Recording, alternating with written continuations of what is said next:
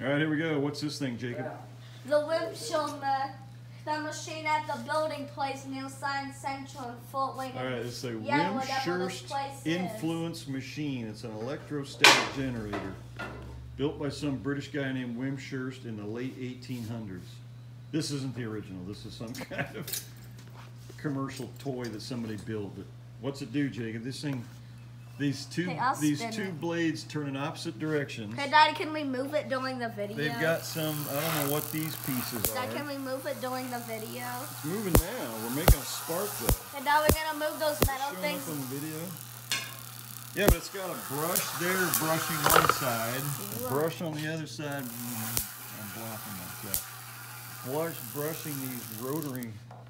Yeah, but the thing generates electrostatic charge like a spark plug. And, uh, this is a thousand volts. The spark's not showing up on the video. That's weird. There, that showed up. Some of the sparks don't show up even though you hear them snap. It's there and gone too fast. Well, for some reason the video doesn't pick it up. It's weird. Hey, Dad, what are these metal things, those? I don't know. All right, stop it for a second. I don't know. There's these two. They counter rotate against each other, and they've got metal plates. Hey, hey, hey, Dad, hey, Dad, can you adjust those metal things differently now? And those two brushes. Or wait. Hey, Dad, Oh, there's brushes on both sides. Hey, Daddy, can you adjust the two brushes? I don't know. These there's something to do with the brushes on each side. Where are they sending power to? I know.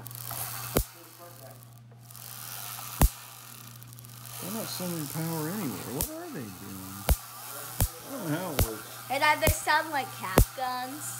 No, it sounds like a spark plug. There we go, Wimshurst. And it's called an influence machine, so it's an influencer. This is the this is the old school influencer from the 1880s or 90s from England. So the, the Then you could take this is classes. the original influencer, Jacob, before TikTok showed up. Then you can also take. Uh. then you can also take some classes here. Oh yeah, we're at the Build Guild in Fort Wayne. Hey, hey, We're on the CNC router right now. hey, you can take classes classes here. Anyway, all right. Well, I guess that's the end of this video. We just had to make a video because it's something crazy cool. Hey, Dad, can you adjust those? Don't touch that, Jacob. You'll get shocked. I've already been shocked once. Now that it's stopped, if you touch anything metal on this machine, you'll get a discharge because it's got static electricity built up all over it. You want to test it, Jacob?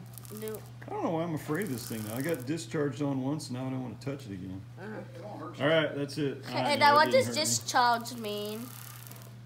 It means it lets it go. It's got all this power build up, and then poof, it lets it go, and it shocks you instead of pushing you. It shocks you. Hey, Daddy, hey, Daddy, does it feel weird? Well, have you been? You've been shocked by electricity, haven't you? So, It's just a shock of. All right. Is there anything else we should videotape, or is that it for this one? And that's it. I mean, you could also adjust those and they'll shock different. Oh, you mean oh to increase the gap? Yeah. You want me to do it without getting shocked? Yeah. I gotta use a piece of wood, Increase. uh, insulator. like a piece of paper. Hey, this guy over there was building something right now. Okay, we increased the gap about an inch and a half. Crank it a little faster now, Jacob. That's gonna be a bigger jump. There it was. You had to get a lot more power build up to jump that big gap. Tens of thousands of volts. Some of Hey, hey, these sparks don't show up on the video. That's weird. All right, that's Hey, the what end of the about video. Called the to rest of the shop? Yeah, we got a. That's a four-minute video.